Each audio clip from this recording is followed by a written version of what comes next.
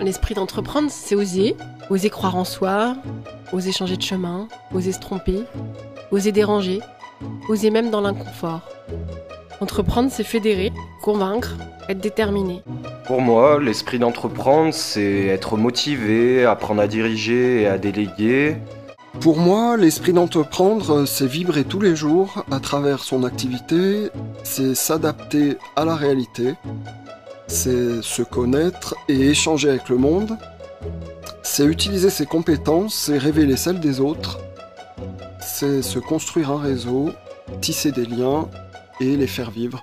L'esprit d'entreprendre, c'est beaucoup de travail, une motivation et une implication sans faille au jour le jour, une remise en question de soi permanente, découvrir qui l'on est et ce dont on est capable, développer sa propre éthique de travail, les valeurs de liberté et d'intégrité,